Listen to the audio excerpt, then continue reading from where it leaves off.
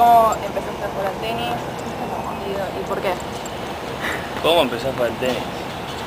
Nada, de chiquito me llevaron mis viejos a entrenar, empezamos por diversión y bueno, ahora seguimos jugando ya por competencia y profesional.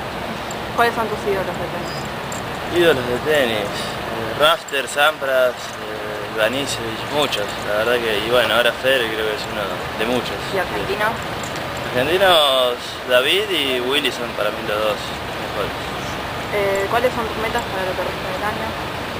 Mi meta es ahora voy a jugar unos Challenger por acá Sudamérica y bueno, es terminar entre los 150 del ranking.